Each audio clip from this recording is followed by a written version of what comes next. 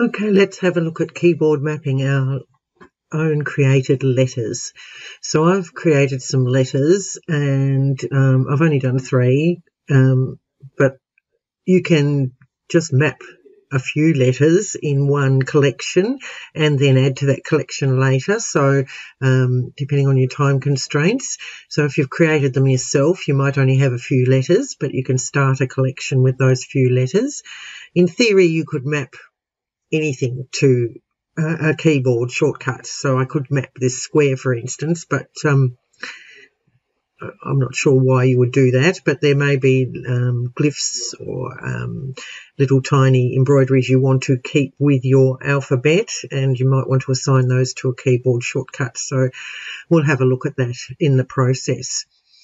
So um, as you can see, I've got three letters here. You may have also bought a font from a designer off the internet that comes as individual letter designs.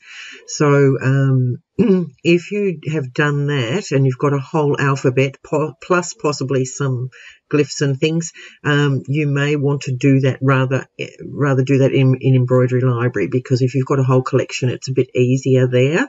Um, but we'll start in embroidery canvas with just these few letters. So you map, basically map one letter at a time and you need a collection for it. So I'm going to select the letter M. They suggest to use the uh, capital M as your size guide. Let me just have a look at the sizes of the others. That one's 70 millimeters high. What's the A? Uh, 71.59. Um, that is probably because of this border I've got around it. I might have started off with a 70 millimeter um, letter, but because I put a border of stem stitch around it, it, it alters the height slightly. It's not a big deal, um, so long as you're happy with the letters next to each other at a reasonable height. But just for interest sake, I'm going to change the height for this one to 70 millimeters. And incidentally, an improvement in version 9 is that now when your lock is locked, it's highlighted, which is makes it a lot easier to see whether it's locked or not. So um, I want it locked, so I'm going to change that to 70 millimeters as well and enter. And let's just check the T. yeah, that's a bit higher, so we'll make that 70 millimeters as well and enter. So now I know all my capital letters are exactly the same height. So I'm going to start with the letter M. Um, they suggest the M is a good one to use as your size and you'll see what I mean as I create it.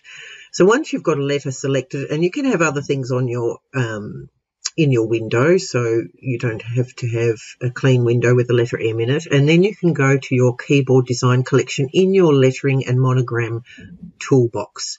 So there's the keyboard design collection tool. So we left click on that, and that will open a dialogue or a, a um, docker actually in your uh, to the right of your color film and if you've got the trial version or even when you get the new version if you haven't already mapped one it will all be blank and you need to click on new to create your new collection as I said, you have to put these into a collection. So let's click on new and I'm just going to call this one test.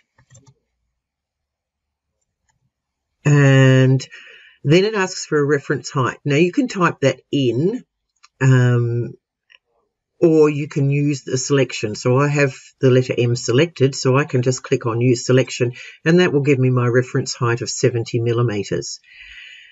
And then down the bottom, it's got character spacing as a percentage of the height. And I have just left that at the default, but depending on your font type, um, you may want to test out when you type the letters to see if they're close enough or um, too far away, and you might want to alter that slightly at some stage.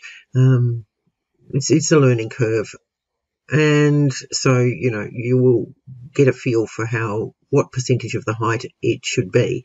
Ten percent is fairly average. And then it asks for the recommended height range. Now, um, this depends on the quality of the file that you've got. So grade A designs, so these ones are digitized in the software. Um, so they're a grade A design, and I can check that by looking down here at my um, little note down the bottom right hand corner of the software. But if you've got a collection that has come with, um, that you've purchased, it's probably a stitch file, so therefore it wouldn't be a grade A file. Now, the grade A files you can adjust by 20% um, safely. So you can put a range here 20% less than the 70 millimeters high and then 20% more than the 70 millimeters high. But if you've got a stitch file, then, then it's recommended you only adjust by 10%. So I'm going to put a range of 20% in here because I've made my own letters and they're grade A files. So I'll subtract 20% from 70, which gives me 54 millimeters. And I'll add 20% to 70, which will give me 80, sorry, 56. I have to learn my maths. That should have been 56 millimeters and add 14, which is 20% of 70 to 70 will give me 84 millimeters. So that's my recommended height range. Um, and that will show up in the um, lettering toolbox when we go to use our letters. Uh, incidentally, this character spacing, um, if that can also be overwritten in the lettering toolbox, and of course, you can adjust individual spacing with the edit tools in lettering. So it's 10% would be just go with the default 10% and it'll be fine. So we'll go OK. And so that has created our collection. So any collections will be listed here. So we'll have a drop down menu and only the one um, collection is here.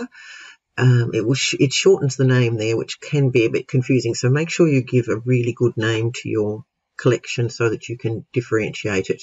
For instance, it's just showing a T here. Um, so, and the name is test, although it does show up here with the name.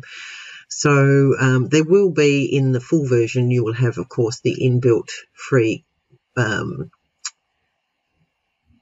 collections that are going to come with the software. They'll be listed here as well.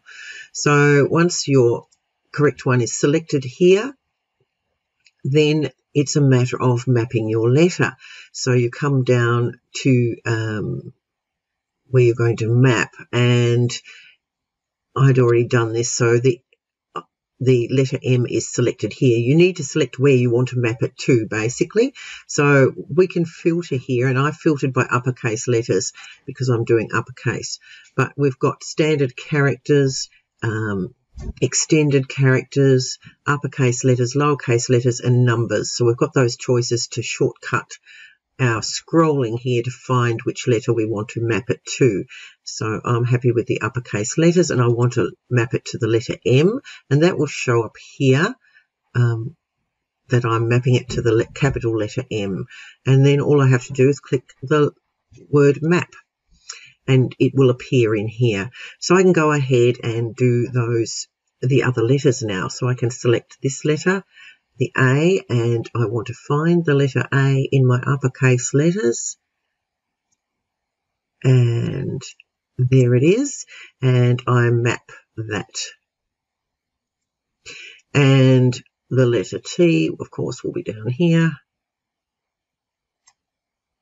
So I need to select it first, tell it where I want to map it to, and hit the word map. So I've got those three mapped in there now. And so I now have that collection of three letters. And as I said, you can go ahead and map other letters individually like that. Now, if oh, I won't go into mapping in embroidery in um, embroidery library for the full collections in this video, but um, the principles are very similar. But you can uh, you have to order your letters um, in your window correctly. So I'll do that in another video. Um, but now that collection is there, I can close that dialog.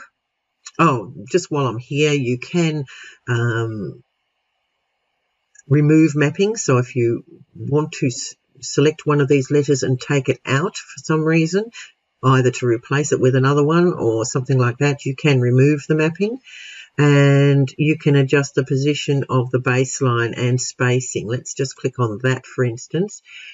So um, the spacing is measured obviously it's giving you an indication here. The baseline is on the base of the letters, um, so you could adjust that to go through the middle of the letters if you needed to for some reason. Um, and your spacing, it's showing the outer extremities of the letters. So if you wanted to add some more spacing in there, you could do that. Um, a bit more breathing space around the letters. So you've got a few little um, fine tuning options there. We'll just go OK with the defaults. Once you've used it for a while, you will um, be able to um, play around with it a bit more when you get used to it. Okay, so we've got that there. So as I said, I can now close that keyboard design collection dialog and I can actually now go into my lettering.